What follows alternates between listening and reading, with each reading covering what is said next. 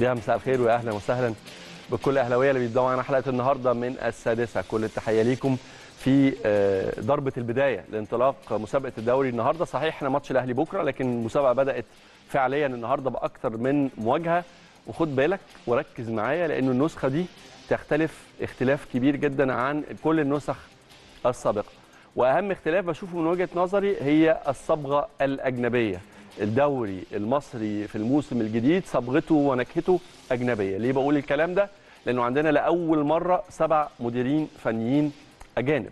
عندنا آه، 88 لاعب محترف جايين من كل حتة في الدنيا. محترفين من قارة إفريقيا محترفين من قارة آسيا محترفين من أوروبا ومحترفين من أمريكا الجنوبية. حتى التحكيم السنة دي بيبدأ بصبغة أجنبية مع وجود طبعا مارك كلاتنبرج آه، كمسؤول عن آه، لجنة الحكام. فبالتالي ننتظر انه المردود يكون إلى حد كبير أجنبي. يعني منتظرين نشوف نسخة مختلفة. منتظرين نشوف مسابقة ماتشاتها آه، فيها ندية فيها قوة فيها متعة فيها إثارة بدل الشكل الروتيني المعلب المحفوظ اللي بنشوفه في أغلب الحقيقة ماتشات الدوري. مش معنى كده إنه الدوري المصري خالي من اثاره لكن نتمنى ان الإثارة والمنافسة والصراع يزيد. نتمنى نشوف عدد أكبر من الأندية بيتنافس على إنه يوصل للخمسة الأوائل المراكز المؤهلة للمشاركة في بطولات دولية. أكتر ما بنشوف منافسة في القاع. هنتكلم على مباراة الأهلي والاسماعيلي النهارده بكل تفاصيلها. تبقى الحقيقة رغم إنه طبعا الفوارق كبيرة جدا في السنوات الأخيرة. بنتكلم على 12 سنة لم يحقق فيها نادي الإسماعيلي الفوز على النادي الأهلي لكن يبقى الإسماعيلي بأسمائه ونجومه وتاريخه.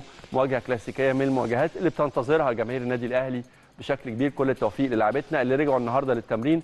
وهنتكلم طبعا على ساعات الأهلي واللمسات الأخيرة ما قبل انطلاق مشوار البطولة. بإذن الله يكون مشوار آه، موفق وتكون النتيجة مرضية لكل جماهير النادي الأهلي مش بس على مستوى الدوري والكأس لكن كمان وده مهم جدا على مستوى بطولة دوري الأبطال. سؤال حلقتنا النهارده هو مش رساله هو طلب النهارده.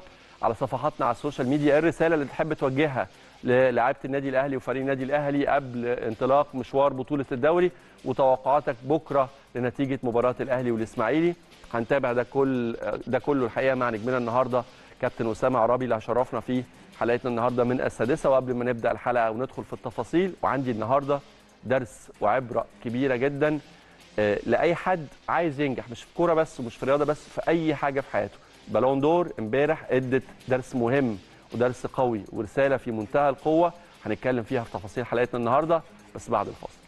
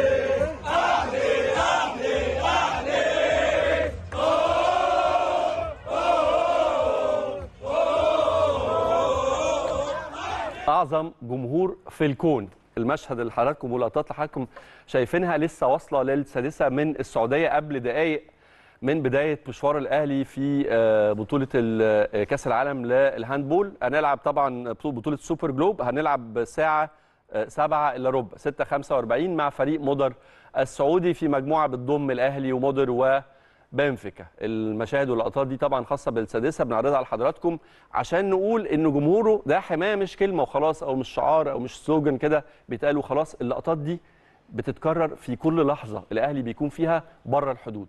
وده يأكد لك قد إيه النادي الأهلي جمهوره عظيم وجمهوره دايما حاضر. لسه شايفين يمكن قريب جدا في البطولة العربية جمهور الأهلي العظيم برضو في الكويت. اللقطات دي طبعا من مدينة الدمام في السعودية اللي بتستضيف بطولة ال Super Globe.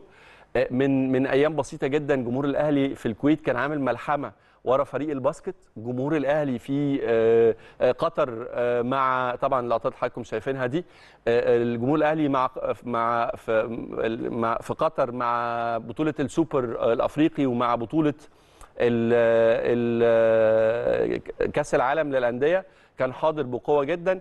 فأنت بتتكلم على إنه في كل مكان ويمكن النهار- النهارده ده السعودية من يومين في الكويت وقبليها في قطر وأينما حل الأهلي الحقيقة آه، يعني والإمارات طبعا يمكن شفنا أكتر من مباراة الاهلي في الإمارات والحضور الجماهيري الكبير جدا الشعبية الطاغية للنادي الأهلي مش محتاجة دليل ولا محتاجة إثبات وجمهوره الحقيقة في كل لقطة وفي كل مشهد زي ما حضراتكم بتشوفوا كده حاضر وبيساند وبيستقبل الفرق في المطار وبيشجع وموجود في الملعب وحريص على دعم الفريق. فرق النادي الأهلي كلها ايا كانت البطولة اللي بيشارك فيها. كل التوفيق لرجالتنا النهارده. زي ما قلت لكم المجموعة فيها ثلاث فرق الأهلي ومودر السعودي ومعاهم بنفيكا البرتغالي. طيب أروح لماتش إسماعيلية شوية وأكلمكم. طبعا امبارح كانت راحة سلبية. مستر كولر قرر يدي راحة سلبية للعيبة والنهاردة كان في تمرين آه، صباحي. ابتدى بمجموعه ت- يعني آه، تدريبات مع أندوية طبعا آه، مخطط الأحمال. بعد كده قبل قبل ما ننزل الملعب كان في جلسة طبعا مع مستر كولر اتكلم فيها على التحضيرات الخاصة والأفكار الخاصة بمواجهة النادي ال- الإسماعيلي. وبعد كده نزلت الفرقة الملعب تمرينة آه، بدنية آه، لمدة تقريبا حوالي نص ساعة. وبعد كده مستر كولر اشتغل مع اللعيبة آه، قسم الفرقة آه، أربع مجموعات أربع فرق وعملوا تقسيمة في منتهى القوة. استعدادا لمباراة بكرة إن شاء الله. خليني طبعا أقول إنه آه، حسن فعلت آه، آه، لجنة المسابقات بالإعلان طبعا عن جدول. كنت لسه بتكلم طبعا امبارح في نفس الموضوع ده مع أستاذ جمال الزهيري. وأعتقد إنه بتبقى المو... يعني إذا كان الجمهور نفسه بيرتاح فما بالك بالأجهزة الفنية والإدارات واللاعبين. يبقى عندك جدول منضبط و... و... و... و... ومعروف ملامحه من البداية. بتفرق بشكل كبير جدا. مع كل الأطراف. نتمنى الحقيقة نتمنى. وما لناش غير إن إحنا نراهن إن إن شاء الله يكون موسم منضبط. التحكيم فيه يستعيد جزء كبير جدا من مستواه ومن عافيته عشان نخرج من حالة الجدل وحالة التشكيك وحالة الم- المشكلات وحالة الاتهامات اللي حاصلة آه، من آه، موسمين وأكتر فاتوا. النهارده كمان خليني أقول لكم إنه اللعيبة احتفلت بعيد ميلاد الدبابة الماليه اليوت زانج الاحتفال ال- يمكن دايما بنشوفه من لعيبة النادي الأهلي سواء بالصفقات والوافدين الجدد أو آه طبعا دي لقطة الاحتفال ال- المشهورة. احتفال أليو ديانج لاعب طبعا آه، واحد من أهم الصفقات اللي جت مش بس في في الجيل ده لكن بشوفه واحد من أبرز الصفقات اللي مش ممكن تتنسي زي زي أسماء كتيرة يعني زي فيليكس زي فلافيو زي جيلبرتو زي علي معلول آه، في أسماء كده خلاص اتحفرت في في تاريخ وفي عقول جماهير النادي الأهلي وأعتقد إنه محدش يختلف على ديانج آه، اللي إن شاء الله بإذن الله يكون واحد من أه- واحدة من أهم الأوراق مع الأهلي في الموسم الحالي. آه، خليني على حضراتكم أو أقول لحضراتكم القائمه اللي أعلنها مستر كولر واللي هتشارك في مباراة بكرة إن شاء الله بإذن الله القائمة بتضم في حراسه المرمى محمد الشناوي مع علي لطفي معاهم مصطفى شوبير معاهم متولي العائد بقوة حمدي فتحي المتألق عبد القادر كادرينيو. أنا بشوف عبد القادر الموسم ده بتاعك ومراهن عليك بشكل كبير وكثير من جماهير النادي الأهلي مراهنين بشكل كبير جدا على عبد القادر. شريف موجود برونو سافيو أيمن أشرف حسين الشحات معاهم أليو ديانج عمرو السولية حسام حسن قفشة شادي حسين علي معلول محمد عبد المنعم أكرم توفيق طاهر محمد طاهر كريم فؤاد ومحمد هاني. كل توفيق لرجالتنا بكرة إن شاء الله. طيب سريعا جدا فيما يتعلق ب آه، طبعا الجدول لما تم إعلانه امبارح بتاع الدوري آه، آه، عرفنا إنه في ثلاث أسابيع هتتلعب في نفس توقيت كأس العالم لكن كمان بالتزامن مع نفس التوقيت ده هيكون بداية كاس الرابطة طبعا اللي ظهرت في الموسم اللي فات واللي فاز بيها فيوتشر على حساب المحلة بنتيجة 5-1 19 نوفمبر تحديدا بعد بداية كاس العالم هيكون ميعاد إقامة الدور التمهيدي للبطولة. وأيام دور ال 16 في نفس البطولة هيتلعب في نفس الشهر ده أيام 25 26 27 وبعد كده هيتأجل بقى وهيترحل يعني دور الثمانيه مش هيتأجل هيترحل دور الثمانيه للفترة من 16 ل 20 مارس في العام المقبل. إيه قصة البالون دور وإيه قصة كريم بنزيما؟ عايز أكلمكم في تفصيلة مهمة جدا جدا بالذات للولاد الصغيرين واللي طالعين. مفيش مشوار نجاح ما فيهوش مطبات صعبة وما فيهوش آه، آه، معوقات وما فيش ناس وما فيهوش ناس بتحاول بتحاول إنها تحبطك أو تفشلك أو تبعدك عن الهدف اللي أنت بتحاول تحققه. طب إيه القصة وإيه الحكاية وإيه قصة بنزيما والبالون دور السنة دي؟ هقول لكم بالتفصيل بس بعد الفاصل.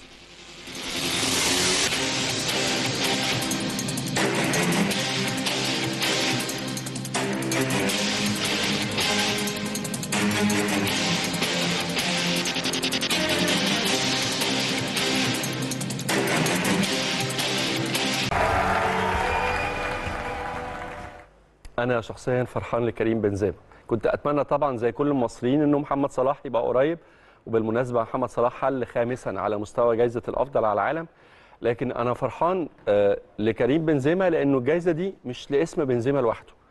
الجائزه دي لكل الناس اللي بتحلم والناس اللي حاطة قدام عينيها هدف مهما كانت في صعوبات هي عايزة توصل له. مهما الناس اللي حواليها ممكن تحاول تحبطها أو تحاول تعطلها هي عندها إصرار شديد جدا وعندها قدرة على تجديد الدوافع وعندها تمسك كبير جدا رغم الظروف ورغم المعاناة ورغم أوقات كتير جدا فيها إحساس كبير جدا بالظلم واحساس كبير جدا بإنه الدنيا معاندة لكن أنا ما زلت متمسك بحلمي. وابدا ابدا ابدا مش ممكن هستسلم. دي قصة البالون دور السنة دي. دي قصة كريم بنزيما اللي من مواسم مش بعيدة قوي كنت بفتكر آه، آه، بنزيما في وجود آه، كريستيانو رونالدو ووجود جاريث بيل وكان بيتقال عنه دايما إنه مهاجم الظل وانه كل الأضواء مسلطة على ال CR7 وحتى على جاريث بيل من بعده. وإنه لما كان بيتقال إنه في صفقة أقرب للرحيل في ريال مدريد كان دايما بيتردد اسم بنزيما آه، كاسم أول أول الراحلين عن صفوف ريال مدريد.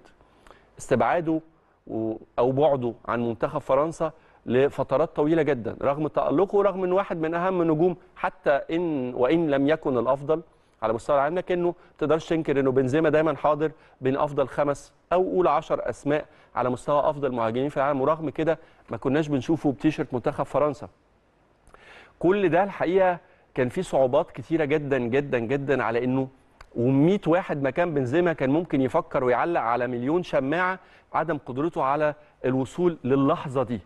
للمكانة دي لقب الأفضل على مستوى العالم. وبالتأكيد أنا الحقيقة بشوف إنه ريال مدريد قدم واحد من أسوأ المواسم بتاعته رغم ان النتائج بتقول عكس كده لكن الحقيقة الفضل الأول والأخير في ده يرجع لبنزيما. ومعاه طبعا لاعبين كانوا مؤثرين وناجحين زي تيبو كورتوا اللي فاز برضه بجائزه الأفضل. ومعاهم كمان فينيسيوس جونيور الثلاثي ده بشوف إن هو كان عمود الفقري للريال واللي كان سبب رئيسي في تتويج الريال بلقبين مهمين جدا في تاريخه Champions League والليجا السنة اللي فاتت.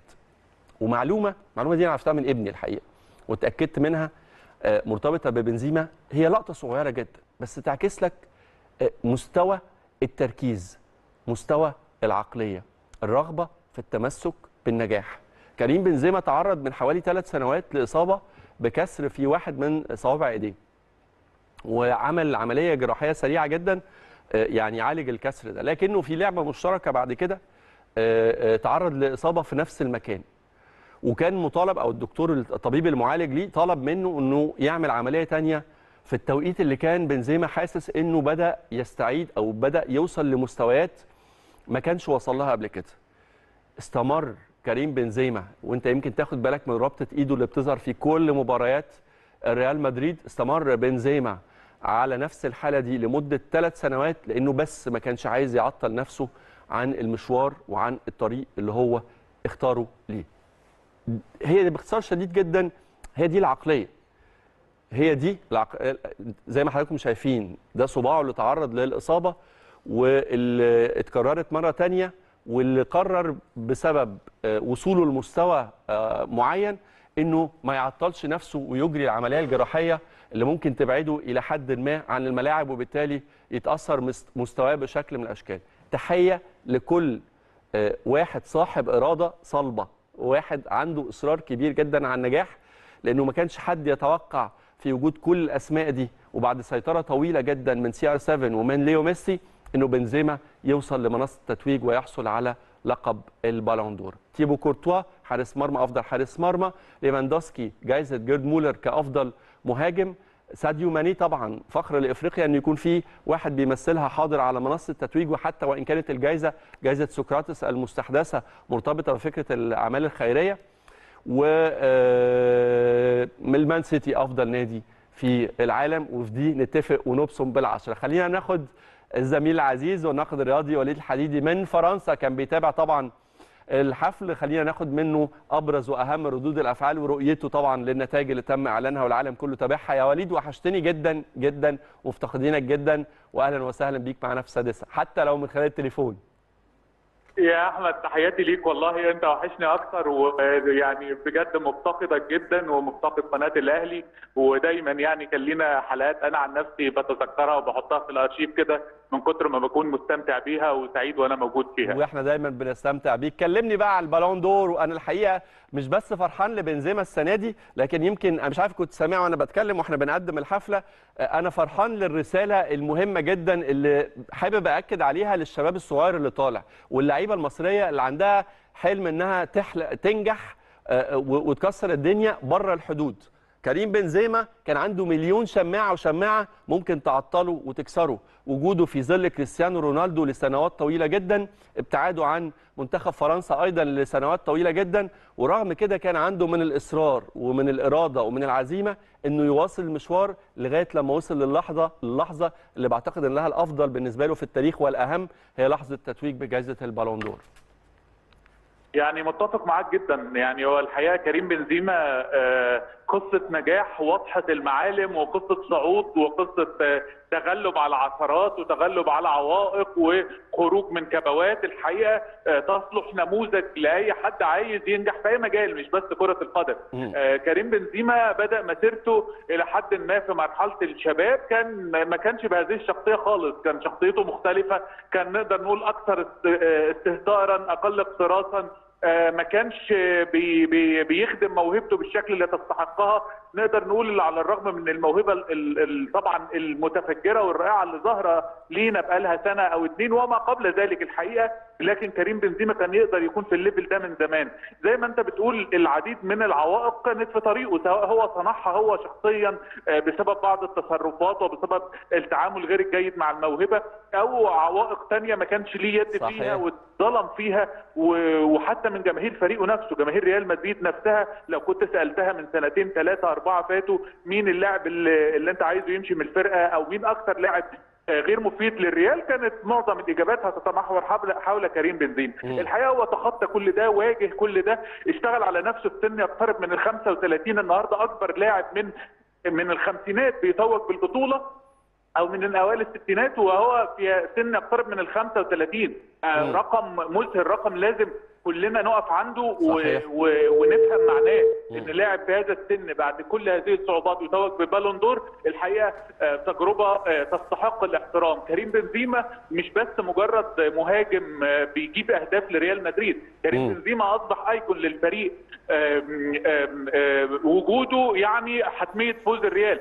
طول ما كريم بنزيما موجود انت مطمن صحيح. واحد من جمهور ريال مدريد إن الريال هيكسب. عدم وجود كريم بنزيما مهما كان الأسماء اللي في الملعب بتبقى قاعد ومش مطمن. آه وده ده مش شيء قليل إنك تصبح رأس حربة ب بمواصفات أيقونية لفريق بحجم ريال مدريد طبعا. كل هذه النجوم. طبعا. كريم بنزيما طبعا لازم نقول له شابوه لازم نرفع له القبعة. طبعا. آه خليني أسألك وقبل ما أكمل معاك كلامي عن الجوائز يعني ناس كتير جدا بتسأل محمد صلاح السنة دي مركز خامس ومتفوق على أسماء كبيرة جدا جدا جدا مش يعني لا داعي للذكر لأنه الحقيقة أسماء يعني من العيار التقيل ورغم كده وشفنا امبارح ناس كانت في المركز ال20 وال18 والسو... ناس حاضرة الحفلة لكن ل... للعام الثاني على التوالي بيغيب صلاح عن حضور حفل جائزه البالون دور. عندك أسباب عندك معلومات عندك كواليس نحب نعرف برضه.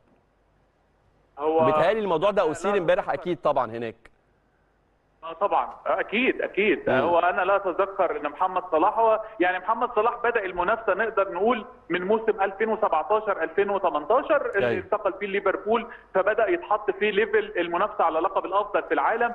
وبالفعل في سنة 2018 كان خد الثالث في زابات الحقيقة في خلال كل هذه السنين بتتكلم عن آه، بالنسبة للبالون دور حفل بالون دور 18 و19 و21 و22 لأن طبعا 20 لم يقام بسبب كورونا عشان الكورونا. أربع مواسم لم يحضر فيهم ولا مرة محمد صلاح الحفل. بتتكلم في The Best في خمس حفلات 18 19 20 21 وفي انتظار ال 22 بتتكلم عن أربع حفلات محمد صلاح حضر مرة واحدة فقط كانت في 2018 لما كانت في لندن وكان ساعتها خد ثالث أحسن لاعب في العالم وخد آه، جائزه بوشكاش كمان لأفضل هدف. وبالتالي حضر للتتويج. قد يكون عنده اسبابه محمد صلاح لكن أنا اللي أقدر أقوله أو اللي أقدر أنقله الانطباع الانطباع اللي متاخد عند مثلا الصحفيين من مختلف أنحاء العالم يعني الناس كانت حابة إن محمد صلاح يكون موجود. الانطباع إلى حد ما يعني مش عايز أقول سلبي لكن غير يعني غير مبرر. بالنسبة آه. عدم حضوره هذه الإيفنتات هو حضور غير مبرر عدم حضور غير مبرر. أيضا الجماهير كل الناس بتسأل عنه. محمد صلاح آه، في سن ال 30 لسه عنده مسيرة كروية أربع أو خمس سنين في ال top level لازم يكون حريص لأن أنت عارف برضو التصويت ده تصويت بشري يا أحمد. أيوه. يعني ده مش كمبيوتر اللي بيصوت. طب نفكر نفكر الناس بآلية التصويت في جائزة البالون دور يا دكتور وليد. طبعا هو كان الأول قبل جائزة السنة دي كان التصويت آه، عن طريق الصحفيين من كل دول العالم. ال- البالون دور أو الفرنس فوتبول بتتواصل معاهم صوت من كل دولة وكان ده اللي بيتم على أساسه تقييم الأصوات. لكن السنة دي ال criteria اتغيرت آه، بقى الص- الصحفيين اللي بيصوتوا من أول 100 دولة فقط في تصنيف الفيفا. تمام. وبالتالي هم 100 صحفي زائد طبعا إنه كمان عوامل ال- التصويت أو ما يبنى عليه التصويت اتغير من الفرنس فوتبول نفسها اللي أصدرت بيان أوضحت فيه إن التصويت هيكون بداية من 2022 بناء على المستوى والأداء الفردي فقط. وليس البطولات الجماعية وهي آه، ساعتها ساعة بقى ما تلجأ للبطولات الجماعية لما بيكون في اثنين أدائهم الفردي يعني أيوة. متقارب لحد كبير ومش قادر تحسم ما بينهم تبدأ بقى تشوف مين اللي خد بطولة ومين اللي ما خدش. طبعا. فده ده آلية التصويت. فأنا كنت يعني النقطة إن آه، ده تصويت زي ما قلت لك تصويت بشري صحفيين بيصوتوا. فوجودك في في المكان حتى يعني ك ك ك ك social relations كتواصل مع الناس لازم ليه دور ليه دور. الناس لما بتشوفك قدامها الموضوع بيفرق كتير جدا. زائد كمان إن أنت بتسيب impression أو انطباع عند المنظمين إن أنت هو محمد صلاح مؤكد مش ده اللي عنده يعني مش ده السبب لكن صحيح. الانطباع اللي بيوصل لهم إن أنت ما بتحترمش جايزتي أو ما. بتحترمش مؤسستي مظبوط مظبوط ف- فانا اتمنى إن محمد صلاح. طبعا طبعاً. يراجع نفسه وعنده صلاح حتى يعني عنده من الذكاء الاجتماعي اللي يقدر يتعامل فيها وي- ويعني يبص للنقطة دي أتمنى بوجهة نظر مختلفة لكن ال stage امبارح آه، كان عالمي يعني امبارح إحنا بنتكلم على على فريق أحلام بنتكلم على ديديه درو- دروجبا في اليمين أندريه شيفتشينكو في الشمال آه، آه، رونالدو نازاريو في في, في القلب ومن وراهم فيجو وزيدان. يعني ده كوكتيل. وبعدين ملكي. الريال واخد أفضل لاعب وأفضل حارس مرمى وطبعا زيدان وفيجو ورونالدو الثلاثه لعبوا في الريال. فامبارح جمهور الريال كان يعني في قمة فرحته. هو إحنا بنبارك لريال مدريد ان هم وصلوا للاعب ال 12 اللي يكسب البالون دور أيوة. عشان يعادلوا رقم برشلونة اللي كان عنده 12 لاعب قبلهم فيعني ببارك لريال مدريد وصولهم للرقم ده بس يعني لو بتتكلم جد فطبعا ريال مدريد آه، آه، مؤسسة كروية آه، جديرة بال مش بس بالاحترام جديرة بالدراسة انت لازم تدرس الناس دي بتفكر وبتتعامل مع كرة القدم إزاي. الراجل رئيس تحرير فرانس فوتبول بيقول لك فلورنتينو بيريز ومؤسسه ريال مدريد بتجيد دعم لاعبيها وبتجيد التسويق للاعبيها. صحيح.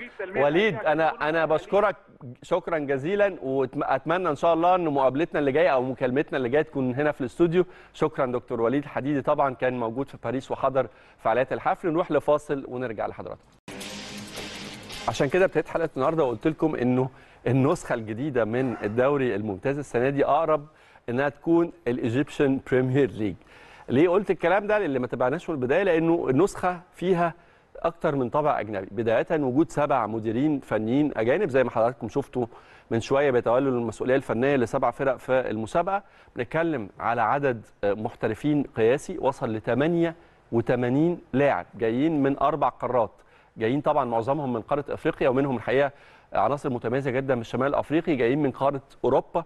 دول زي هولندا وزي صربيا جايين من آسيا عندنا من الأردن عندنا من فلسطين وجايين طبعا من أمريكا الجنوبية زي البرازيل. بالإضافة كمان إنه عنصر التحكيم أو يعني آه، ملف التحكيم دخل عليه عنصر أجنبي مهم جدا. نتمنى نتمنى إنه يكون ليه مردود إيجابي وهو طبعا مارك كلاتنبرج فهل قصة الثقافة الأجنبية أو الخبرات الأجنبية اللي بيستفيد منها الأندية اللي بتشارك في الدوري تترجم بقى على أرض الملعب في كورة غير في متعة غير في مستوى غير ويكون الدوري ده نسخة مبهجة ممتعة قوية من نسخ الدوري الممتاز. ده هيكون واحد من المحاور اللي هنتكلم فيها وبالتأكيد ماتش بكرة الأهلي والإسماعيلي مش غايب علينا. بس بداية طبعا نرحب بنجمنا النهارده نجم النادي الأهلي ونجم منتخب مصر كابتن أسامة عرابي اللي بيشرفنا في السادسة. مساء الخير كابتن أسامة. مساء الخير أهلا وسهلا بيك يا أحمد والساده. المشاهدين. الله يكرمك الله يخليك. يعني زي ما حضرتك كده شفت وتابعنا سبع مديرين فنيين على رأس أجهزة فنية للمسابقه طبعا مارسيل كولر الأهلي فيريرا آه، الزمالك آه، جونياس تاكيس جونياس آه، بيراميدز جاريدو مدير الفني السابق للأهلي بيتولى السنة دي المسؤوليه الفنية للإسماعيلي. عندنا ألميدا مستمر مع فاركو عندنا مانولوفيتش وبابا فاسيليو مع الاتحاد والمحله بالإضافة لعدد كبير جدا هنستعرضه مع حضرتك كمان شوية يمكن عشان تبص برضو على خريطة اللاعبين المحترفين. هل تتوقع إنه نسخة الدوري ده ككورة؟ ككورة. تبقى مختلفة. نشوف صراع أقوى على المقدمة صراع أقل على الهروب من القاع. نشوف كورة قوية game مفتوح أو يعني كورة مفتوحة قوة سرعة لياقة مهارة. ولا ما نراهنش على القصة دي قوي لا متوقفة على حاجات كتيرة. امم آه منها آه انتظام مواعيد الدوري العام. أيوه. لأن إحنا شفنا ال- الماتشات السنة اللي فاتت كانت مضغوطة جدا. امم فالنادي الأهلي اول اللي كان المتأثرين وأثرت على مستوى أداء اللعيبة وال- والفرقة يعني. فأول حاجة نتمنى تكون المسابقة منتظمة. تمام. آه، جماهير أتمنى إن عدد الجماهير يزيد في الدخول آه، لأن الجماهير هو هم عصب كرة القدم وبيدوا حماس كبير للاعبين والأجهزة الفنية و يعني آه، الدوري بيبقى ممتع والجمهور في الملعب يعني. طبعا طبعا. أتمناها. طبعا. ماتشات كتيرة بنلعب أكننا بنلعب دوري شركات. أيوه. أو تمرينة. وخاصة تقسيمة كده. آه آه خاصة كمان يعني يمكن لما بيسمح ب 2000 و 3000 و 5000 يعني إلى حد ما الأهلي طبعا والزمالك شوية لكن ساعات في أندية شركات بتلعب مع بعض بتحس إنك أنت مم. ماتش ما- ودي يعني ما ده بقى أمر واقع برضو يا كابتن أسامة ما هو أمر واقع يعني حتى لو اتفتحت مدرجات آه. الاستاد كلها ما تتوقعش إن في ماتشات هتبقى فيها جماهير أساسا آه أمر واقع أتمنى طبعا إنه مع احترامي الكامل. لفرق الشركات طبعا فرق أيوة. مميزة و... وأضافت من من ناحية القوة الم- المادية و... وبيستقطبوا لعيبة جيدين وكل حاجة بس طبعا كنت أتمنى. الأندية الجماهيرية تبقى متواجدة. لأنه الشكل العام كده سنة ورا سنة الأندية الجماهيرية بتنسحب و... أيوه وبتنزل لدوري الدرجة ال- الأدنى يعني أيوه أنا ف- ك... أنا كجمهور كورة اسمح لي آه. أقول لك أنا كجمهور كورة لما تابعت الميركاتو شفت آه، آه، صفقات تجاوزت قيمتها حوالي ال 4 مليار جنيه في موسم الانتقالات الصيفية وشفت وعرفت كمان بالأرقام وإحنا بنحب دايما نتكلم بالأرقام إن إحنا عندنا 88 محترف خليني أستعرضهم مع حضرتك. كده ونشوف تأثيرهم إيه لأنه بالتأكيد إحنا بنلجأ لمحترف أجنبي إحنا بندور على quality مش موجود عندنا وبالتالي مفترض إنه المستوى ده ينعكس على الكورة وعلى المسابقة بشكل كبير جدا. طيب عندنا من نيجيريا 16 محترف بيلعبوا في مختلف الأندية المصرية. من تونس 13 لاعب. يعني تونس ونيجيريا حصه الأسد تقريبا من 88 لاعب ليهم 29 لاعب لوحدهم. من فلسطين في خمس محترفين المغرب خمس محترفين الجزائر أربع محترفين بوركينا فاسو أربعة محترفين أيضا ومن كوت ديفوار أربع محترفين وغانا بنفس العدد أربع محترفين. ثم غينيا عندنا ثلاث لاعبين محترفين. أوغندا ثلاثة تنزانيا اثنين هولندا ودي كانت ملفتة جدا بالنسبة لي طبعا اثنين لاعبين محترفين من هولندا من الكاميرون اثنين ومن مالي طبعا اثنين منهم طبعا الدبابة بتاعتنا سا- آه، آه، آه، آه، آه، اليو ديانج منهم من السنغال في اثنين جنوب أفريقيا اثنين منهم أيضا بيرسي تاو وفخري لاكاي أعتقد في بيراميدز. انجولا في اثنين من المحترفين الجابون في لاعب واحد محترف. ثم عندنا كل من بنين الأردن توجو صربيا البرازيل غينيا بيساو موريتانيا إثيوبيا والسودان. لاعب واحد وأيضا تنضم لقائمة اللاعب واحد كولومبيا وليبيا ومحمد غشر دي جنسيات زي ما قلت جايين من أربع قارات. آه، عدد لا بأس به 88 لاعب محترف بتعكس أكيد القدرات الماليه بالإضافة لميركاتو وكابتن أسامة آه، سوق انتقالات حتى بما فيهم اللاعبين المحليين انتقلوا من نادي لنادي. بيتكلم تقريبا على تكلفة تحملتها خز- خزائن الأندية اللي بتشارك في البطولة أكتر من 4 مليار جنيه. هل برضو ده مؤشر لأن الكورة ممكن تبقى مختلفة؟ إنه المستوى القوة المهارة الندية حالة الصراع يبقى مختلف في النسخة الجديدة من الدوري؟ لا مش مش مش شرط. مش شرط, مش شرط. آه هو جزء مهم. لو لو انتقاء اللعيبة ديت بشكل محترف وإن هم يبقوا مؤثرين سواء الأجانب أو المصريين اللي بيتنقلوا من الأندية الأخرى أيوة. إحنا بنشوف عدد من اللعيبة المصريين كل سنة تقريبا بيتنقل من نادي لنادي وتأثيره.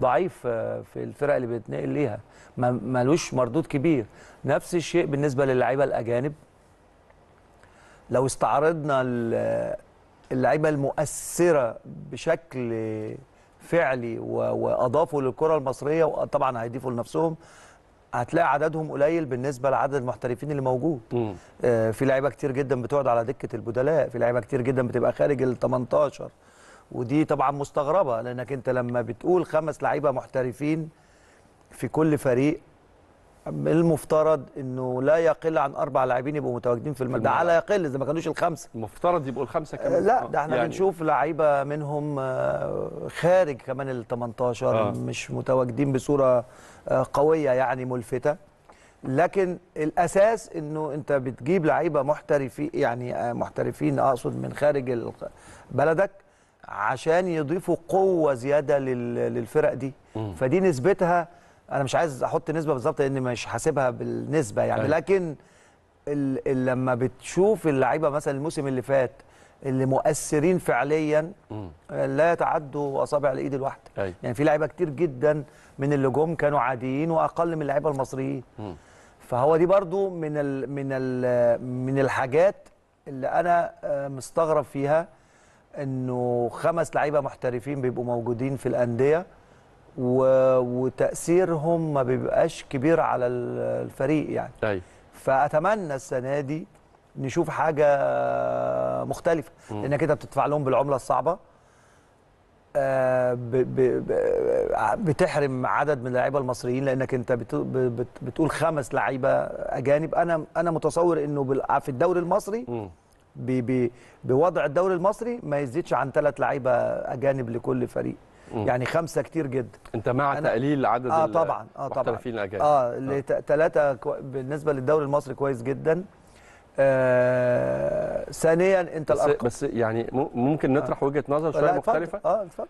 في مو- وجهة نظر أقول لك ممكن إنه أسعار اللعيبة في مصر بقت مبالغ فيها قوي وإنه أوفر لي وأسهل لي إن أنا أجيب كواليتي ممكن تبقى أحسن من quality اللاعب المصري وأرخص من اللاعب المصري من بره.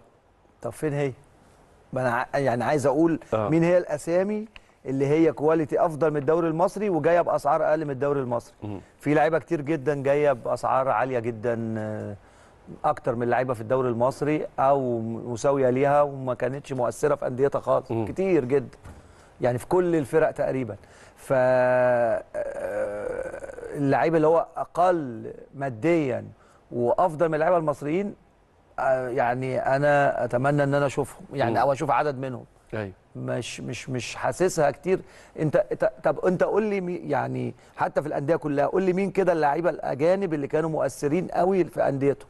هتلاقيهم ما يجوش سبعة ثمان تنفار يعني في الأهلي كلهم مؤثرين بصراحة.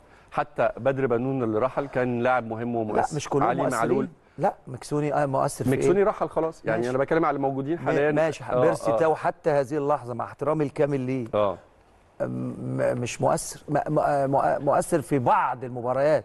لكن هل هو مؤثر بنفس القيمة اللي, يكون عليها محترف؟ لا ما ما لكن علي معلول آه طبعا. أيوه. ديانج آه طبعا. آه. يعني ما هو في أسامي مش أنا لا أقدر اتكلم عليها وغيري مش هيقدر يتكلم عليها. واضحة أيوة. وضوح الشمس. آه. في الزمالك برضو هتلاقي آه، مثلا كان بن شرقي وموجود. آه، هتلاقي مثلا آه، الراجل بتاع إنبي ال- اللي هو المهاجم آه موجود. هتلاقي الظهير الأيسر اللي كان في الجونة جوناثان. آه وفي سيراميكا موجود. في سبعة ثمان لعيبة هتلاقيهم مؤثرين. لكن الأغلب مش هتلاقيه مؤثر بالدرجة مم. اللي هي بتحرم لعيب مصري أو بدرجة ال- الفلوس اللي بتدفع فيه. ده بالنسبة للعيبة. طب بالنسبة للأجهزة الفنية. يعني سبعة من أصل 18 أعتقد نسبة كبيرة جدا. وبالتأكيد ويمكن كلهم في أندية جماهيرية. يعني أهلي زمالك باستثناء بيراميدز طبعا. يمكن مالوش يعني مالوش ظهير جماهيري كبير. لكن أهلي آه، زمالك إسماعيلي آه، آه، محله آه، اتحاد آه، يعني معظمهم في أندية جماهيرية وبالتالي مفترض إنه يكون ليهم تأثير أو يغيروا شوية أو ي... أنا لما بجيب برضو مدير فني أجنبي بالتأكيد أنا جايب حد آه، يعني يحط بصمة أو حد يعمل نقلة أو حد يطور من شكل الفريق. فلما يبقى عندي أندية جماهيرية معتمدة بشكل كبير على الأجهزة الفنية محترفة أو جاية من بره مصر شايف تأثير إيه؟ تأثير ده إيه على الكورة اللي هتتقدم في النسخة الجديدة من الدوري؟ والله بص أنا يعني مش هفضل طول الخط ضد موضوع الأجانب ولا مع طول الخط. مم. في آه، مدربين أجانب بيجوا للدوري المصري أفادوا الكرة المصرية اتعلمنا منهم آه، سواء اشتغلنا آه، لعيبة تحت إيديهم أو ساعدناهم في ناس كانت مؤثرة لكن أيضا هناك الكثير آه، جه للدوري المصري ولم تستفد منه الكرة المصرية أيوة. ولا الأندية. أنا بحس ساعات إن هي موضة بتطلع وهوجة إن كلنا عايزين نجيب مدربين مصريين. حتى اللي هو بيصارع يعني أندية بتصارع من أجل البقاء بالثلاث سنين وأربع سنين وأندية نزلت درجة تانية وبتجيب مدربين أجانب مم. إيه هو الإضافة اللي اتضافت أنا مش شايفها مم. آه، أندية آه، بتلاقيها آه، مستوى التطور بتاعها في الأداء عنها عن عن إن يكون أجنبي موجود أو مصري موجود ما لقيتهاش في أندية كتير والسنة اللي فاتت بدون ذكر أسامي مع أكتر من نادي في مدربين أجانب جم آه، ما أدوش أي تطور ولا أي فرق عن مدرب مصري لكن في بعض بعض أحيانا المدربين الأجانب اللي هم ممكن يكون آه، عنده رؤية متطورة شوية ممكن يضيف لك آه، أسلوب لعب جديد ممكن يضيف لك تعامل مع اللعيبة ممكن يحطك في مكانة أفضل. لكن آه، السنة اللي فاتت كتير جدا منهم برضو بدون ذكر أسامي لم يحققوا نجاح. يعني قليلين اللي حققوا نجاح. آه، يمكن في بعض المدربين المصريين في أندية حققوا نجاحات أكبر أكبر منهم. أيوه. يعني في بعض المدربين المصريين حققوا نجاحات أكبر منهم. وفي ناس آه، اشتغلت فترة وال- والأندية استغنت عنهم وجابت آه، مدربين مصريين. مم. وفي العكس طبعا. فهي مش شرط هي متوقفة زي ما قلت لك على كفاءة المدرب. أيوه. اللعيبة اللي موجودة معاه.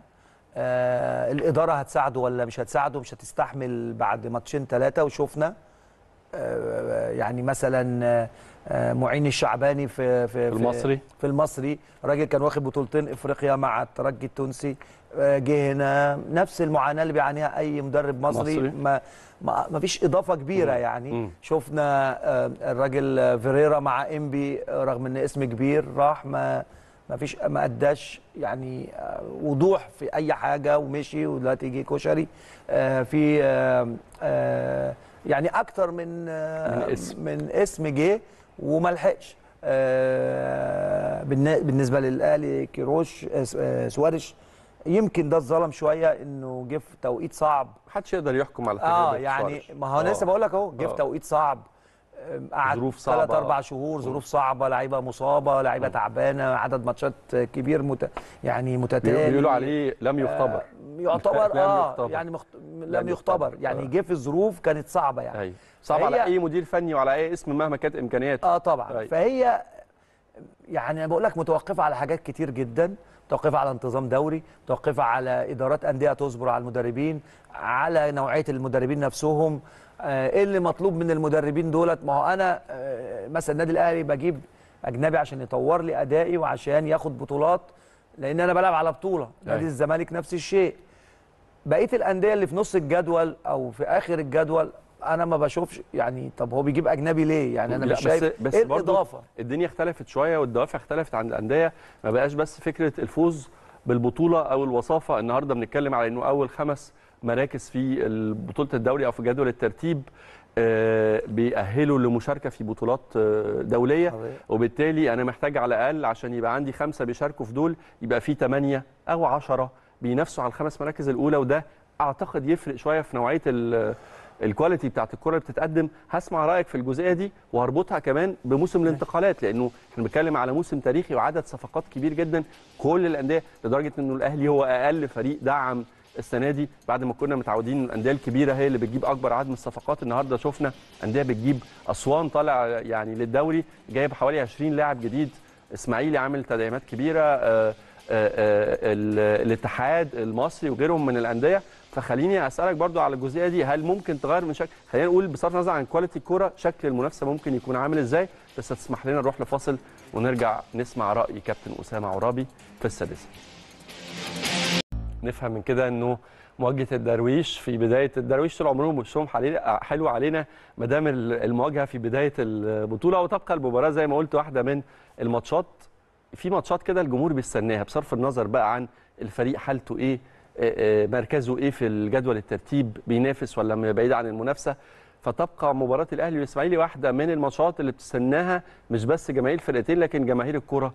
في مصر وقبل ما أدخل في ماتش بكرة خليني أسمع رد كابتن أسامة عرابي نجمنا وضيفنا النهارده على قصة الميركاتو. هل يتوقع السنة اللي فاتت بنشوف دايما مش السنة اللي فاتت بس السنوات اللي فاتت أو المواسم الأخيرة بنشوف دايما ال- ال- الصراع والمنافسة بالمقلوب. بنشوف إنه فرقة اتنين الأهلي بيحسم منفردا أو بيخش معاه الزمالك. السنة اللي فاتت دخل الزمالك مع بيراميدز. بتبقى دي المنافسة على القمة والصدارة والمنافسة في القاع ضرب نار.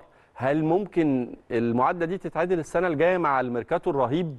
رهيب. أعداد في فرق اشترت فرق كاملة جديدة وهنستعرض مع حضراتكم ده مع كابتن أسامة دلوقتي. لكن هل بتشوف إنه شكل المنافسة ممكن يختلف ال- الموسم اللي جاي؟ الصراع على المقدمة ممكن نشوف فيه آه، دخول فرق آه، زي آه، المصري زي الاتحاد زي الإسماعيلي بعد ميركاتو قوي جدا. واعتقد إنه الدرس بتاع السنوات الأخيرة وال- والصراع أو الهروب من الهبوط أعتقد أثر بشكل كبير جدا مع إدارات الأندية دي في الموسم الحالي لا صراع على الدوري لا صراع على الدوري آه. الأهلي والزمالك خلينا نتفق إنه الصراع على الدوري مش بطولة بس يعني الصراع على الدوري. مربع ذهبي ماشي، أو مربع خمس أو. خمس مراكز أولى ماشي مربع آه. ذهبي أنا لو لو صنفت لك الفرق آه، بالورقة والقلم مم. لو قلت لك آه، ترتيبهم ال 18 ممكن آه، انجح فيه بنسبة 95% قبل ما الدوري يبتدي. آه طب ما ده هنعمل لها حلقة دي يا كابتن آه. والله آه. ارتبهم لك. آه. بص الدوري العام الأهلي والزمالك. آه، قاريها يعني. حصول آه. حصول البطولة الدوري العام الأهلي والزمالك. بيراميدز السنة اللي فاتت جات له فرصة ذهبية من الصعوبة بمكان إن تكرر. إن الأهلي والزمالك فقدوا عدد من النقاط مش مسبوق في تاريخهم يعني حتى الزمالك فقد كتير جدا آه ولكن الأهلي عشان فقد أكتر بكتير الزمالك حصل على بطولة الدوري أيوة. ومع ذلك بيراميدز ما استغلش الفرصة لم يستغل الفرصة. م- الأهلي والزمالك مش هيبقوا سهلين زي السنة اللي فاتت مم. فأنا أستصعب إنه مع احترامي الكامل ليهم فرقة أيوة. جيدة طب بره الصراع. بين الأهلي والزمالك على القمة المنطقة اللي ورا. المنطقة اللي ورا البطل والوصيف مين الفرق اللي تتوقع أن يكون أو عدد الفرق بصرف النظر عن الأسماء عدد الفرق تتوقع أن يبقى في منافسة سخنة بينهم على التأهل للكونفدراليه والتأهل للبطولة العربية يعني أربع خمس فرق آه. آه منهم طبعا بيراميدز أكيد أيوة. آه فيوتشر مم. بتكلم على الصفقات اللي موجودة والاستقرار اللي عندهم وال وال والدعم المادي الك- المادي الكبير جدا للأندية دي. بيراميدز فيوتشر آه، ممكن المصري بعد كامل أبو علي ما جه آه، يبقى أفضل بكتير من السنة اللي فاتت آه، ممكن البنك الأهلي يخش معاهم شوية آه، ممكن آه، ال- آه، يعني سموحة والاتحاد السكندري احتمال. يعني في المنطقة دي وبعد كده هتلاقي بقى الفرق. بالتتابع أو تتالي. لغاية لما هتستقر في خمس ست فرق هيصارعوا من أجل البقاء. صحيح. ب ب ب ب بصورة خاصة مفيش شك في كده. الفرق اللي صاعدة هتبقى ظروفها أصعب من الفرق اللي كانت مستقرة في الداخليه. خسر اسوان خسرت النهارده من الاتحاد في اولى الماتشات نتيجة 1-0 آه بداية تعتبر جيدة وإن شاء الله بتمنى التوفيق للكابتن ربيع والفرقة أسوان فرقة محببة ليا بلدي وأنا مسكتهم قبل كده وإن شاء الله يعملوا أسوان موسم كويس. محببة لكل المصريين يا كابتن الحمد. لله. بجد والله ده مش آه، مش آه. لا مجاملة ولا مبالغة. لا صحيح. أسوان وناس صحيح. أسوان آه، يعني ما فيش خلاف عليهم. صحيح. يعني فهم يعني مع الكابتن آه، ربيع ياسين آه، أعتقد إنه يعملوا موسم كويس قوي ولكن ما فيش شك إن ظروفهم بالإمكانيات المادية والظروف وأنا اشتغلت معاهم وعارف آه، بيعانوا في إنه آه، انتقالات وبيعانوا في المعسكرات وبيعانوا حتى هذه اللحظة أنا متأكد إن هم بعاد خالص عن عشان كده لما بقول لك فيوتشر وإنبي وبيراميدز والكلام ده. آه، صرف نسبة مثلا 50 ل- لواحد آه يعني بس هم عاملين ميركاتو برضو مش ماشي ماشي يعني عامل بس تاريخي برضو يعني مش ماشي بس وجايب أسماء برضو كابتن يعني محترمة يعني. يعني هيثم عرابي مع. كابتن ربيع حاولوا يعملوا وهيس و- ولكن و... و... ولكن وكابتن ربيع مدير فني يعني لا ما هو مدير فني ما خلي بالك آه عنده ما هو أنا عشان أقيس مديرين فنيين معلش ما هي دي نقطة خطيرة جدا في مصر مم. بتحسب ما جيش أنا أقيس مدرب ماسك بيراميدز متوفر ليه لبن العصفور وبعدين أقيمه بمدير فني ماسك أسوان ما بيعملش صفقة واحدة بقيمة أو صفقاته كلها بقيمة صفقة واحدة مثلا من نادي بيراميدز أو فيوتشر. وأجي أقيم في الآخر أقول الكابتن ربيع والكابتن ماشي. بس التاريخ علمنا يا كابتن أسامة وأنت كنت شاهد على عصر بتظهر فيه فرق بتطلع حتى من الدرجه المنصورة طلعت البلدية طلعت بس عملوا حالة و... وكان ليهم شكل ومن غير الإمكانيات اللي كانت عند انديه الكبيرة المقاولين في فترة من الفترات لا دي آه. استثناءات لا تكرر كل أو ما بتتكررش دايما بتتكرر كل 20 30 سنة مم. وفي ظروف ما فيش ضخ فيها أموال بالدرجة دي. ما ينفعش أنا هاجي آه، نادي ببتدي باخد الكريمة بتاعة اللاعبين ونادي بيستنى آه، الناس اللي هي راجعه من إصابة الناس اللي هي آه، مش موجود يعني بقى لها كام سنة ما بتلعبش الناس اللي بتفنش حياتها. وهقارن في ال في ال في ال في ال في الترتيب أو في المستوى بينهم.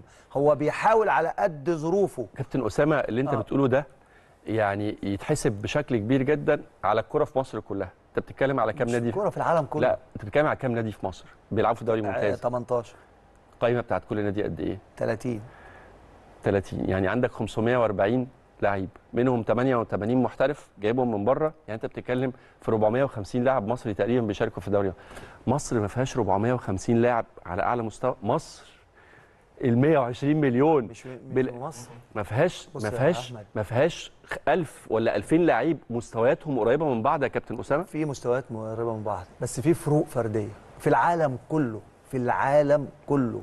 انت لما تيجي لفرقة باريس سان جيرمان لما تقول أجيب نيمار وميسي ومبابي وبعدين أجي الفرق الثانية جايبة ناس مستوى أقل بكتير في المتوقع ان إن باريس سان جيرمان هو اللي هيبقى وليه خد. منهم بطولة الدوري ماشي هتحصل مفاجأة في ظرف معين وهتلاقي التانيين مثلا ظروفهم برضو. صارفين مبالغ كويسة وكده أيوة. هتيجي في الدوري الإنجليزي هتلاقي مانشستر سيتي آه، أغلى نادي بيدفع وأكتر نادي بيجيب لعيبة. هتلاقيه هو غالبا بيبقى رقم واحد وبينافسوا أحيانا آه، ليفربول أحيانا آه، مثلا مانشستر يونايتد لو صرف أو كده. هتلاقي في ألمانيا بايرن ميونخ هو أكتر نادي بيصرف. وأكتر نادي فهتلاقيه هو رقم واحد. النواحي المادية مؤثرة بدرجة كبيرة جدا في كرة القدم. لانك أنت بتشتري كواليتي أنت بتشتري نوعية. أنا لما هشتري لعيب زي عبد الله السعيد غير لما أجي أسوان بيشتري بيدور على واحد ع- سنه كبير مبطل لسه راجع مع أو أو يعني هو هو, السؤال هنا يا كابتن أسامة يعني عيب لما يبقاش عندي في مصر آه، آه، خمس ست لعيبة زي قفشة وعبد الله السعيد في الحتة دي. عيب لما يبقاش عندي في مصر آه، آه، خمس ست لعيبة زي رمضان وكهربا وأحمد سيد زيزو في الحتة دي أو عبد القادر في الحتة دي. يعني أقصد أقول إيه؟ أقصد أقول إنه مفترض إنه لما أتكلم على أندية الدوري الممتاز بصرف النظر متفق معاك جدا في جزئية الإمكانيات مفيش خلاف إنه الماديات بقت عنصر مهم جدا من عناصر النجاح والاستقرار و- وإلى آخره. لكن أقصد أقول في النهاية إحنا لما نيجي نتكلم على دوري ممتاز فيه 18 فريق في الدوري المصري ومنهم على فكرة في فرق كمان يعني الجونه هو الجونه اللي نزل آه، دوري درجة آه، آه، أولى ب ده ممتاز ب م- فرق- فريق ما عندوش إمكانيات. ما هو عنده إمكانيات. في فرق كمان في الدوري الممتاز ب عندها إمكانيات. ففي النهاية لما أتكلم على الدو... ال... ال... ال... ال... ال 30 أو ال 40 نادي وأقول إنه ما فيش عندي في مصر 2000 ولا 3000 لعيب تقدر تختار منهم كواليتي يخلق حالة الصراع دي. في مشكلة. صراع بس آه. هيبقى صراع في التحت آه. وفي النص. مم. لكن في المقدمة مفيش زي ما. أنا قلت لك أهلي وزمالك طيب. يليهم معاهم بيراميدز. بعد كده آه، فيوتشر هيخش من المراكز الثالث للخامس. آه، ات- مثلا مصري من ثالث للخامس. البنك الأهلي من الثالث للخامس للسادس. لأن هي ظروف الفرقه كده وظروف امكانياتها كده. مش مفيش بس حد يعمل مفاجأة يعني من وجهة نظر لا في الدوري المصري لا آه. مفيش مفاجأة. مفيش مفاجأة. دوري آه. على الحصول الدوري صعب جدا. آه. عايزة امكانيات مادية عايزة جماهيرية طب بره عايزة انتظام آه. عايزة الأهلي والزمالك يكونوا في حالة مش عالية قوي. آه. يعني في ظروفهم تكون مش واقعة قوي. طب لأن كل عناصر البطولة آه. متمثلة في الأهلي والزمالك أكتر. جماهيرية فلوس إعلام تراكم خبرات آه، آه، آه، إمكانيات حتى مادية. المج- المجموع. تمام.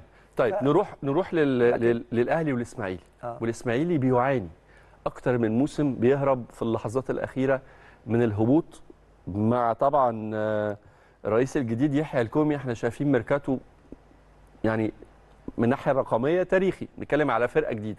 الاسماعيلي السنة دي اشترى فريق جديد. تستعرض معانا الصفقات آه، كابتن آه، أسامة؟ آه، آه. تقول لنا كده صفقات الإسماعيلي الاسماعيلي باسم مرسي أحمد محسن محمد محسن صالح جمعة من سيراميكا كليوباترا. آه. آه، فراس شواط نور الدين الزموري من الصفاقس التونسي محمود الشبراوي الجونة حمدي النقاز آه، انتقال حر ياور أنور اشانتي كوتوكو عبد القادر كوليبالي من كوروهوجو الايفواري كريم عرفات فيوتشر محمد خليفة انتقال حر الحارس محمود كوكو أعارة من سيراميكا. آه، 13 صفقة. 13 صفقة. ودي ودي من من علامات الاستفهام. امم ليه؟ مش بس في الإسماعيلي. أيوة. في معظم الأندية اللي تتعدى صفقاتها خمس لاعبين يبقى في علامة استفهام. ما هو مش ممكن أنا كل سنة أكون فريق يعني إحنا بنتفرج على دوريات العالم كلها. امم وبنتفرج على الفرق المستقرة. إحنا بنتفرج على فرقة بنتفرج هناخد المشاركات دلوقتي يا كابتن اسامه اتفضل كمل آه ال ال حاجة تتكلم على آه، كل سنة نغير أو يعني كل فريق يعني في أندية كتير دلوقتي عاملة صفقات 18 لاعب أيوة. و20 لاعب مظبوط. و15 لاعب مم.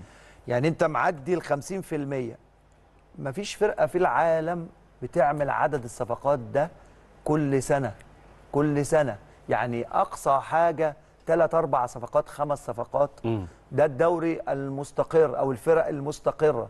يعني إذا أنا إديت عذر لفرقة زي الداخلية أو حرس الحدود أو أسوان عشان طالعين من طالع. من الدرجة الثانية للدوري الممتاز. أيوه فعامل مثلا 10 صفقات أو 15 صفقة ماشي ممكن أديله العذر وله الحق. لكن الأندية اللي في الدوري العام اللي بيعمل 18 صفقة في كل موسم أو مم. 15 صفقة من الاستقرار في الأداء هيجي منين. يعني استقرار الطبيعي إن في تيم بيقعد على الأقل خمس ست سبع سنين 80% من عناصره وهي موجودة. حتى بالنسبة لمستوى ال- ال- اللاعب نفسه لما واحد بينتقل في حياته في ناديين ثلاثة هو ده الطبيعي لكن مش ممكن في حياته اتنقل في 10 أندية مثلا أو 15 نادي. يبقى ما هو تأثيري. ف ف ف فبرضه أنا مستغرب تمام. جدا إن الاسماعيلي عامل 13 صفقة كتير جدا. طيب قبل ما صحيح في أسامي جيدة أيوه. لكن كتير تر- جدا قبل ما أسمع رأيك في إن الأسماء دي ممكن تراهن أنت عليها إنها تغير شكل وأداء ومستوى الإسماعيلي في البطولة الجديدة ولا لأ؟ خلينا نشوف مشاركات ال- الجمهور معانا في السادسة النهارده. توقعاتهم لماتش بكرة ورسالتهم للاعيبه النادي الأهلي. إن شاء الله الدوري أهلاوي ده محمد جبر. إن شاء الله الدوري أهلاوي وإحنا كأهلاوية واثقين في اللعيبة إنهم رجالة وقد المسؤولية. أهلاوي لحد ما أموت الأهلي number 1 أبو مهاود بيقول إن شاء الله الفوز الأهلي 3-0 وأول أهداف سافيو وشادي. وأتمنى اللعيبة لا تنتظر التحكيم ونلعب ونكسب سواء تحكيم ظالم أو عادل. متفق معاك جدا جدا في رسالتك. أنا مش عايز أراهن على التحكيم ولا على كلاتنبرج. أنا عايز انه حتى لو تعرضت لظلم تحكيمي أقدر احسم نتيجة المباراة. من بداية الموسم كده بنفسي. ادخلوا البطولة بدون شفقة أو رحمة على أي فريق. ده إبراهيم السوداني. ومعانا كريم السيد عمار. أتمنى كل التوفيق لنادينا الحبيب في كل البطولات إن شاء الله. نفوز بكل البطولات وبالتوفيق لكل اللاعبين والجهاز الفني والإداري. وإن شاء الله يكون موسم مليء بالبطولات مع النادي الأهلي. وان شاء الله الأهلي يكسب 3-0 سامح مجدي أمين. السلام عليكم وعليكم السلام لكل لاعبي الأهلي. أنتم اسياد القارة عليكم الاستمتاع بكرة القدم. حتى نستمتع بكم. وإحنا محتاجين نستمتع الحقيقة بالكرة السنة دي. مش بس نتائج كمان متعة الأداء وحلاوة الأداء من لعيبه الأهلي. وشايف إنه الفرقة الحقيقة بدايتها مبشرة جدا. آه، محمد عبد الحي شدوا حيلكم يا أبطال وربنا يوفقكم في أول مباريات الدوري. وإن شاء الله أنتوا قدها السنة دي والدوري هيبقى في الجزيرة إن شاء الله. عاشق للفانيلا الحمراء ده محمد عبد الحي. يعني الناس طبعا آه، آه، أعتقد رابطة بشكل كبير جدا بين ماتش بكرة وبين بدايات الأهلي آه، اللي ظهر عليها الفريق في مواجهة اتحاد مونستيري في دور ال 32 شايف ماتش بكرة إزاي؟ إيه أوجه صعوبته من وجهة نظرك؟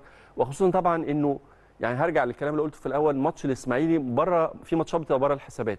ملهاش علاقة لا بالميركاتو ملهاش علاقة لا بالمستوى ملهاش علاقة بالترتيب. واحد من الماتشات دي بيبقى الإسماعيلي. شايف الماتش بكرة إزاي وأصعب الحسابات قدام مارسيل كولر يا كابتن أسامة؟ آه، طبعا مباراة من مباريات القمة في مصر آه، طبعا أهلي وزمالك أهلي وإسماعيلي أهلي ومصري إسماعيلي ودلوقتي بدخل بيراميدز بقى أهلي وبيراميدز زمالك وبيراميدز. يعني من الاهلي وإسماعيلي من أهم المباريات آه، في الدوري المصري. تاريخية مباراة تاريخية. آه، طبعا النادي الإسماعيلي أتمنى له كل التوفيق وما أتمناش إنه إنه يكون في الموقف يعني إحنا السنة اللي فاتت كنا زعلانين إن الإسماعيلي حقيقي آه، قريب من وهو الهبوط. وهو الدوري لو من غير الإسماعيلي يفقد أيوة. جزء كبير جدا من حلاوته طبعا اتحاد إسماعيلي مصري. آه، المصري لا إحنا عايزين نحافظ على اللي فاضلين أيوه عايزين مش هينفع نحافظ على الفرق. الشعبية اللي فاضلة طبعا. لأن إحنا بقينا أصبحنا والحلاوة قربنا. نبقى دوري شركات صحيح ف ف ف فطبعا آه، موقف كان ليهم صعب السنة اللي فاتت رغم إن الكابتن حمزة الجمل جالهم في آخر السنة وأدى عمل شغل كويس بصراحة. دي حقيقة يعني أيوة. وحتى كانت مستغربة إنه يمشي جدا آه. كل الناس استغربت قوي آه. يا آه، رحيل. حمزة الجمل آه لكن هم طبعا جابوا جريدو ليه خبره كبيره خد الكونفدرالية قبل كده مع الأهلي واشتغل في في المغرب وله تاريخ وجابوا 13 صفقة آه، ما أقدرش أقول ان الراجل هيلاعبهم كلهم. صعب مم. جدا يعني من ال 11 أو أو يعني اعتقد ممكن هتلاقي 3 4 أو خمس لاعبين. أيوة. على الاكثر منهم لأن في قوام برضو. يعني في عبد الرحمن مجدي في باسم آه، في آه، باهر محمدي. ماهر المحمدي آه، في بعض العناصر اللي بتلعب أساسية ومستقرة وليها دور. فهيدخل بعض العناصر طبعا من ال 13 صفقه اللي جت. فمش هقدر أقول شكل الفرقة ليهم في أول ماتش. لكن أنا براهن على النادي ب- بس الأهلي. دي حتة برضو محيرة شوية. أنت مش عارف. تقرأ إيه، يمكن الفرقة ما ظهرتش قدامك ما لعبتش ما لعبتش. قدامك قبل. حتى لو شفت شرايط ليها هتلاقي فرقة تانية مختلفة تماما. فبالتالي المنافس قدامك بكرة مبهم. وفي المقابل جريدو يمكن عارف النادي الأهلي كويس حافظ النادي الأهلي كويس. فبالتالي آه، المعادلة هنا فيها برضو جزء إلى حد ما ما تقدرش تقيس أو تحسب عليه. ماشي بس هو طبعا فريق هيبقى مبهم. آه، جريدو مسك النادي الأهلي كل ده جميل بس النادي الأهلي آه، بيراهن على نفسه. يعني بعيد خالص عن آه، فكرة المنافس المنافس. أحواله إيه أو أخباره إيه؟ النادي الأهلي جاله مدرب جديد مستر كولر واضح إنه شغال بشكل كويس. مم. آه، اللعيبة ال- إيه اللي لفت نظرك في الأهلي مع كولر آه لا ما هجاوب لك على السؤال آه. آه. آه اللعيبة اللي ريحت واضح إن راجعة مشتاقة. للكورة. وفايقة آه عودة واحد زي أكرم توفيق آه مؤثر وراجل آه من اللعيبة المؤثرة وراجل حماسي وبيدي حيوية للمكان دوت. آه يعني في عوامل كتيرة آه آه مستر كولر ابتدى مع الفرقة من أول السنة بعكس آه سواريش جه أيوة. في آخر السنة ولا و- موسيماني حتى و- ابتدى برضه آه، موسيماني دخل من الدار للنار برضه آه يعني بقاله شهر ونص تقريبا شغال مع الفرقة لعب ماتشين رسميين اللي هم ال- الاتحاد المنستيري. أو كسب في الماتشين نتيجة هايلة وأداء معقول جدا صحيح إحنا هنبقى مع الوقت متأكد إن الأداء هيتطور عن كده و- و- وهنبقى أحسن كأداء كمان والنتائج. مم. كل الأمور يعني في صف النادي الأهلي أقرب من الإسماعيلي. تمام. بخبرات لعيبته بال- زي ما قلت لك الاشتياق اللي اللعيبة راجعة فيه آه ال- الإصرار على البطولة آه اللي راحت منك سنتين ورا بعض مش متع... النادي الأهلي مش متعود إنه يخسر بطولتين ورا بعض. فأنا أعتقد اللعيبة حاسة بده. فهتلاقي في من أول ماتش اللي هو الإسماعيلي هتلاقي فيه حماس آه، ودوافع كبيرة. آه، فالأمور كلها إن شاء الله في صالحنا. إحنا لعبنا مباراتين زي ما بقول لك رسميتين هم ما لعبوش لسه كلها ماتشات ودية. فريتم الأداء إيقاع الأداء بتاعك. عشان أنت لعبت ماتشين رسميين هيبقى هيبقى أقوى وأسرع. مفروض إن شاء الله يعني. آه بالنسبة لمستر كولر في حاجات طبعا آه دخلها أو أو حسينا بيها. لكن مش هنقدر نحكم حكم قاطع ولكن في حاجات ابتدت توضح يعني مثلا الضغط آه، من ماتش الاتحاد المنستيري هناك وهو باين إنه بيلعب في تونس ومع ذلك هو بيضغط من, من من قدام. أول المباراة. من قدام آه، معظم أوقات المباراة كنا بنضغط على فرقه الاتحاد المنستيري استحواذ كان لينا آه، فدي واضحة إن هو. الضغط من من الأمام ودي من سمات النادي الأهلي مم. يعني بصرف النظر عن المدربين اللي جم في تاريخ النادي الأهلي بمختلف بقى تفكيرهم أو أو طرق لعبهم أو كده دي شخصية الأهلي شخصية الأهلي شخصية الأهلي. المتملي هو الفعل أيوة. هو اللي بيضغط هو اللي بيحاول يخلق هجمات هو اللي بيح... يعني بيدور على المكسب على طول وبيلعب من قدام في بعض المباريات تلعب فيها بتحفظ شوية أنا ممكن أقبل إن أنا معين. اكون أنا كجمهور يعني آه. أقبل إن أنا أكون رد فعل لما ألعب في مباراة في كأس العالم. مثلا زي بايرن ميونخ زي. بالميراس ممكن ساعتها أبقى أنا رد فعل أبني خطتي على إن أنا أشوف ال- الخصم والمنافس لأنه بطبيعي جدا ومنطقي جدا إن في فوارق فأكون رد فعل اليوم لكن لما أجي ألعب في الدوري أنا مع كامل الاحترام لكل الفرق صحيح. والأندية أنا فاعل والباقي رد فعل مظبوط ده ده الشخصية في في زي ما أنت قلت في إيه في في معظم آه، أداء النادي الأهلي في مبارياته مم. لكن في بعض المباريات زي ما أنت قلت بتلعب مثلا كأس عالم بتلعب بتاع أو في بعض الماتشات في الدوري أيوة. أو إفريقيا بتلعبها بتكتيك معين آه، ل- ل- ل- ل- لإرهاق الخصم شوية إنه يتقدم شوية يفتح مساحات إنه بعض الأمور ساعات بتعمل كده بنلعب أيوة. مثلا في في في بطولة إفريقيا مثلا في تونس أو في المغرب أو كذا ممكن أحيانا نلعب تحت شوية متحفظين شوية, شوية، أيوة. وبعدين نلعب هجمة مرتده وبعدين هيكون عندنا ماتش عودة أيوة. يعني ليها حسابات ولكن أنا بتكلم على الشخصية الأساسية ظاهرة مع كولر آه واضحة من دي خليني واحدة خليني قبل ما أكمل بس آه. أقول ل- لجمهور النادي الاهلي خبر عاجل آه، فطبعا فرقتنا كانت ابتدت ابتدت مباراته ومواجهته مع مضر في آه، مضر السعودي في بطولة السوبر جلوب وانتهى الشوط الأول من لحظات بسيطة جدا بتقدم النادي الأهلي بنتيجة 18 17 وإن شاء الله بإذن الله يكتمل المشوار ونحتفل بفوز النادي الأهلي النهارده يفرق معانا بشكل كبير جدا في مشوارنا في البطوله لأنه ما فيش مواجهات بين المجموعات. هو الأول بيلعب في, آه، في, في, في على لقب البطولة مع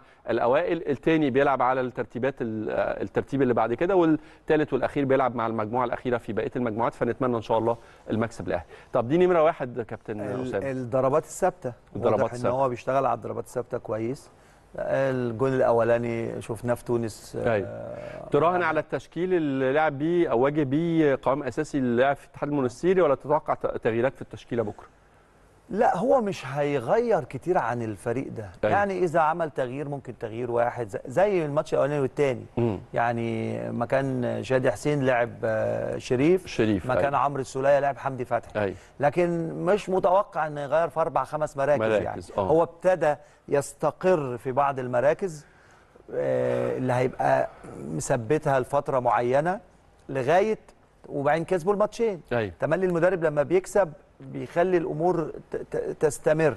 ليه؟ إنه اللعيبة اللي بتلعب تاخد على بعض وتتجانس امم تكتسب يقة الماتشات آه، ادائها هيبقى مستقر وبالذات في الخط الخلفي. امم وتغييرات تبقى واحدة واحدة يعني أضيق الحدود. آه يعني آه. مثلا ح- بن حمدي وعمرو السولية. مستوى متقارب آه. وديانج. الثلاثه بيغير منهم اثنين مثلا. آه مثلا شادي حسين لسه داخل آه، أول سنة مع النادي الأهلي أول ماتش ليه لاعب شريف بح- ب- ب- أيوة. بحكم انه هو كان الأساسي بتاع النادي الأهلي لكن إنه يغير آه، بشكل مثلا 3 4 5 لعيبة ما أعتقدش يعني. نتمنى التوفيق لنجومنا بكرة في ضربة الله. البداية. سعداء بعودة المسابقة مرة تانية. صحيح كنا بنطالب بالتوقف لكن الأهلي آه، وحشنا. وننتظر الحقيقة حاله توهج تستمر على آه، مدار الموسم. والبداية من بكرة في مواجهة الدراويش. بشكر كابتن أسامة عرابي على التشريف ولينا في السادسه شكرا ليك كابتن أسامة. نورت الدنيا. وبشكر حضراتكم على المتابعة. ودايما على كل خير نتقابل في السادسة. تحياتي ليك